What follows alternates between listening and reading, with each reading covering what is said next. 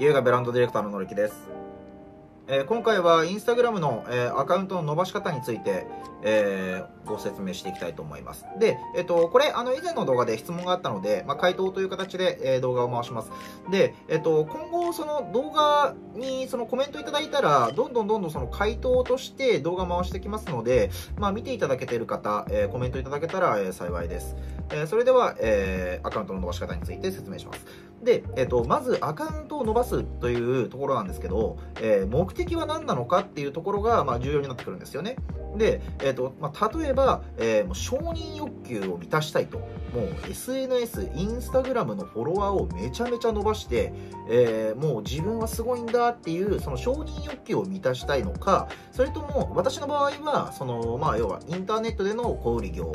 だとか、えー自分でブランドをやった時に、まあ、その情報を発信したりだとか知ってもらうために、まあ、要は PR として機能するようなアカウントを、まあ、必要としてたんですよね。なんで目的によってやり方は全く違います。で、えー前者の例えばもう承認欲求を満たしたいとめちゃめちゃフォロワーが欲しいですよ。でそれで終わりなんですっていう場合は、えーもう購入してくださいフォロワーを。で、えー、とこれまあ有名な話で、まあ、皆さん知ってると思うんですけどももうフォロワーって購入できるんですよね。で逆に、えーとまあ、私のように、えーまあ、何か PR として使いたい何かこの周知拡散のために使いたいっていう場合は、えーまあ、ものすごいコツコツとこう積み上げていくものが必要なので、えー今日はそっち側の、えー私ベースの話をしていきます。で、えーまあ、まず何をやるのかっていうところなんですけども私の場合、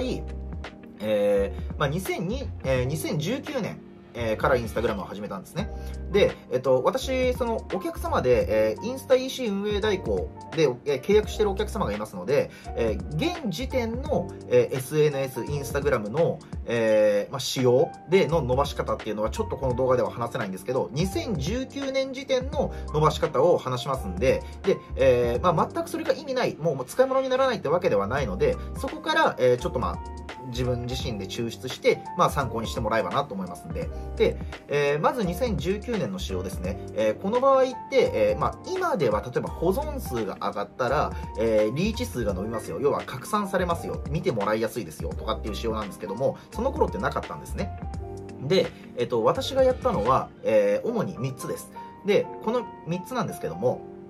え1つは、えー背景。もう私これずーっとこれを使ってるんですよ。この白い、こう、レンガ調の、これ全部ハリボテなんですけど、えっ、と、これを使ってて、背景の統一をしてました。で、なんでこれをやるかっていうと、えーまあ、もちろん自分の顔出しも、あの最初からしてたんですけども、その、背景を統一することによって、あ、またこの人だなってフィード投稿で出てきた時に覚えてもらえるんですよね。で、えっ、と、要は覚えてもらうっていうところがめちゃめちゃ重要なんですよ。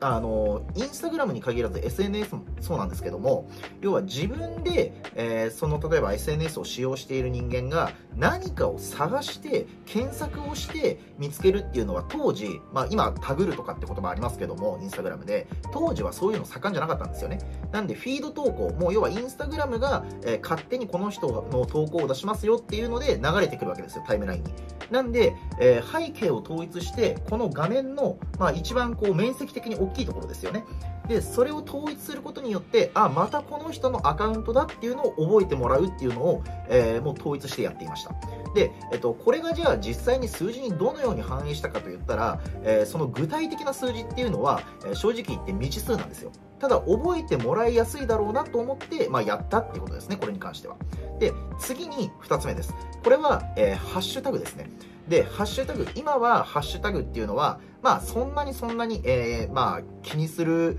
ような内容ではなくなってきてしまっている。まあ、ただ、ハッシュタグがあることによって拡散される、見てもらえるっていうのは、まあ、あの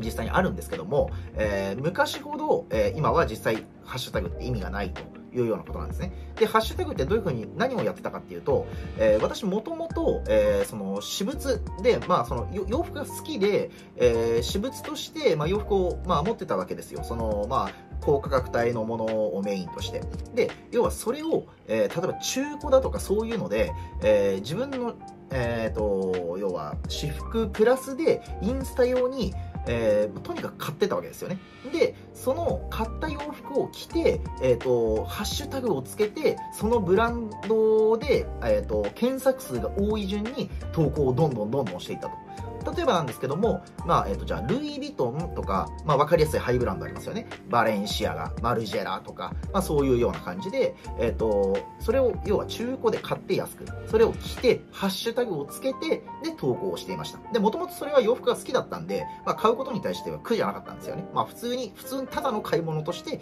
まあ、やっていたと。いうような感じです。でそうすると、まあ、ルイ・ヴィトンを着ている人も、えー、バレンシアガを着ている人も、マルジェラを着ている人も、まあ、見てもらう確率がすごく高くなるわけですよね。で、今実際ちょっと分かりやすいようにハイブランドの名前を出しましたけども、実際に買っていたのは、えー、ラルディーニだとか、インコテックスだとか、まあ、そういうハイブランド系っていうよりも、どっちかというとファクトリーブランド系というより、イタリアのファクトリーブランド系と言われるようなものを、えー、買ってやっていました。で、これは、えっ、ー、と、まあ、正直すごく、えー、まあ、なんですね、効率がよく、えー、伸びていってくれたなと思います。なんで、それをまあひたすらやっていたと。で、最後に、えー、インスタライブです。で、インスタライブは今も、えー、毎週土曜日の22時からやってるんですけども、えー、これが一番聞きました。どういうことか、何をやったかっていうと、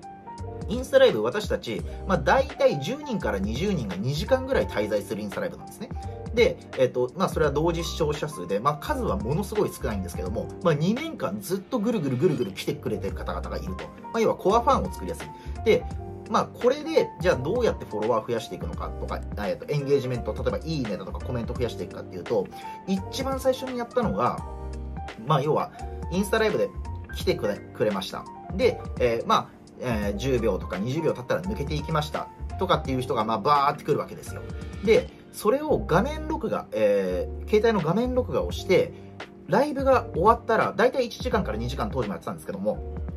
ライブが終わったら、その録画を全部見返して、全部のアカウントに DM を送ってたんですよ。ありがとうございました。見てくれてありがとうございました。ファッションをコンテンツにインスタグラムやってますっていうような形で内容を添えて、えー、DM をしてたと。まあ、そうするとま覚えてくれるわけですよね。っていうような形で、えー、この3つをひたすらやっていたっていうので、えー、フォロワー数だとかエンゲージメントだとかっていうのは、えどんどんどんどん伸びていったと。ただ、現状で今、インスタグラムの仕様が変わりまして、えー、確か2021年ですね、2021年の6月に、まあ、大きいアップデートがあったんですよね。で、そこから、やっぱりちょっと仕様が変わって、私の、えっ、ー、と、アカウントの力っていうのは、ちょっと徐々に落ちてきてる状態なんですね。例えば、えー、まあ、どういうふうに落ちていくかっていうと、えー、じゃあ例えばいいね数が、えー、1400とかあったのに、えー、今では、えー、500とかそんぐらいに落ちてしまっているだとかっていうような形で常に SNS、インスタグラムに関してアップデートして仕様が変わるんでそれを追求して追求して常に新しいことを、えー、挑戦しなければ、えー、この